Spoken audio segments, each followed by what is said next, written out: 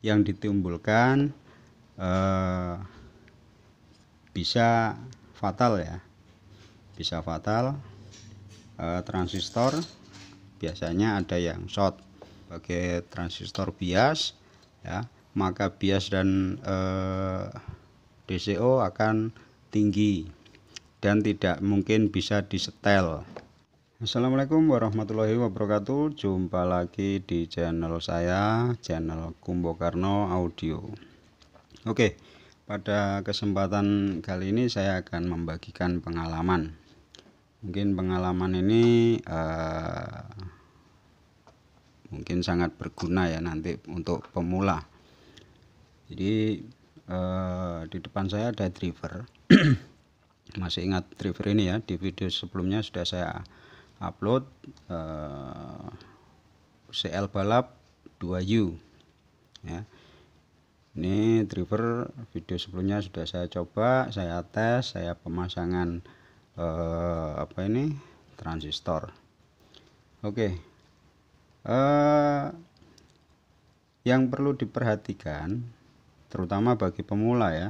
Nah ini pengalaman pengalaman, pengalaman dari saya pribadi Oke, yang perlu diperhatikan oleh para pemula biasanya eh, wah pingin ngerakit yang model 2U biar wah biar anu ah, gitu ya. Oke. Jadi setelah pemasangan transistor final ya seperti ini ya. Rapi. Oke lah mungkin saya dulu tidak bisa serapi ini ya pemasangannya Nah, karena pengalaman sudah sering kali merakit jadinya ya lumayan rapi lah. Oke, yang akan saya eh, bagikan pengalaman saya adalah pemasangan transistor terutama transistor yang kecil ini ya. ya transistor yang kecil. Nah, ini dengan tipe eh, MJE atau JE ya. MJE 340 atau JE 340 dan pasangannya ya. Nah, untuk pemasangannya eh, sebaiknya berhati-hati ya lur ya. Nah, karena apa? Karena eh, ini sangat riskan sangat riskan sekali lur. Beda dengan yang KSE KSE ini bodinya semua plastik ya depan belakang plastik. Ya seperti ini. Ya. kalau untuk JE atau MJE ya, nah ini berlaku untuk semua eh, transistor yang bodinya di belakangnya seperti ini lor ya.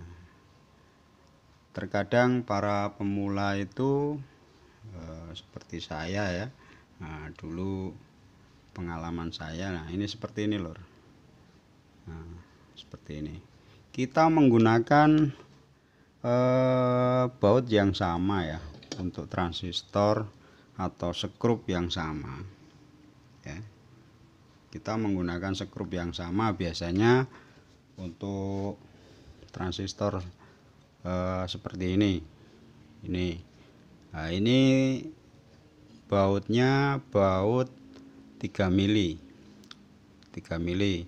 Jadi pengeboran kita menggunakan bor ukuran 2,5 mili. 2,5 mili ini bautnya 3 mili. Jadi ada sela untuk diulir ya. Kalau kita pakai 3 mili eh, dia akan blong. Dol. Nah oke. Okay.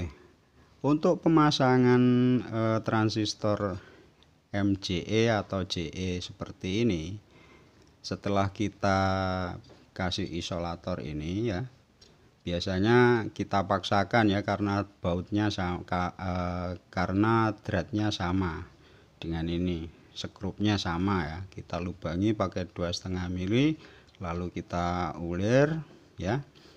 Nah di sini akan eh, tergerus lur ya tergerus saya contohkan seperti ini. Nah ini. Nah ini blong ya tergerus ya sampai eh, sebenarnya ada spillingnya. Spillingnya seperti ini lor nah ada hitam-hitamnya ini ya. Kalau ada hitam-hitamnya ini bautnya atau skrupnya di tengah aman lor ya. Tapi kalau yang kecil ini biasanya kita paksakan dan akhirnya dia tergerus ya. Dia tergerus akhirnya eh, skrup nempel ke bodi transistor ini ya. Jadi nempel ke bodi transistor. Karena nempel ke bodi transistor otomatis skrupnya nempel ke heatsink ya ke heatsink. Nah otomatis kalau kita eh, kurang teliti kurang eh, cek lagi ya. Akhirnya antara ini dan body heatsink ground ya ground dan ground itu uh, akan uh, short ya akan short. Beda dengan yang berbodi plastik semua seperti KSE ini ya. Kalau KSE ini uh, tergerus mungkin tidak masalah ya. Tapi jangan terlalu lebar ya. Pecah nanti ya. Oke. Ini tidak akan uh, short ke body atau ke ground ya. Lalu untuk yang besar seperti ini nah ini ada spilling hitamnya ya. Spilling hitamnya ini untuk melindungi skrup tidak nempel ke body ini. Nah maka dari itu saran saya saran saya eh, setelah kita pasang nah ini ini lur nah, kelihatan ya hitamnya hilang ya. ya setelah kita pasang sebaiknya kita cek dulu ya. kita cek dulu seperti ini lor setelah pemasangan transistor final usahakan dicek seperti ini oke ini mungkin yang sudah senior atau sudah pengalaman banyak eh, nggak masalah. Seharusnya ini pakai skrup kecil ya tidak seukuran ini. Jadi dia aman.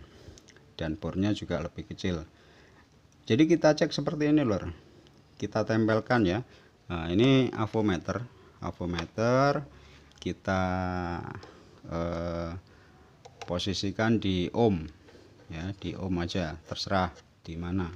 Yang penting eh, bisa nah seperti ini.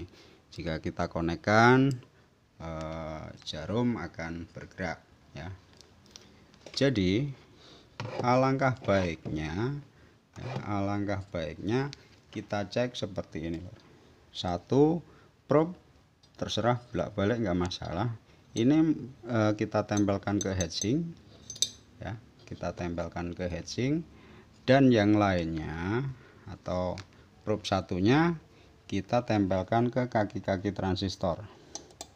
Nah gini aja lor nah ini ya. Kita tempelkan ke kaki-kaki transistor. Nah oke. Okay.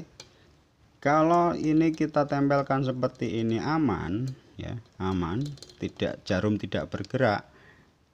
Oke bisa dipastikan bahwa driver ini aman untuk dipasang ke PSU ya. Aman dipasang ke PSU oke. Akibatnya apa mas? Resikonya apa mas? Oke resikonya.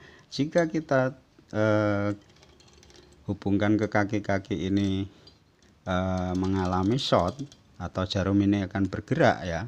Maka yang ditimbulkan eh, bisa fatal ya. Bisa fatal Eh, transistor biasanya ada yang short ya terbakar atau short. Lalu sebagai transistor bias ya maka bias dan eh, DCO akan tinggi dan tidak mungkin bisa disetel ya jadi seperti itu saya kira cukup lur pengalaman yang saya berikan ya pengalaman pribadi Eh, semoga bermanfaat bagi para pemula.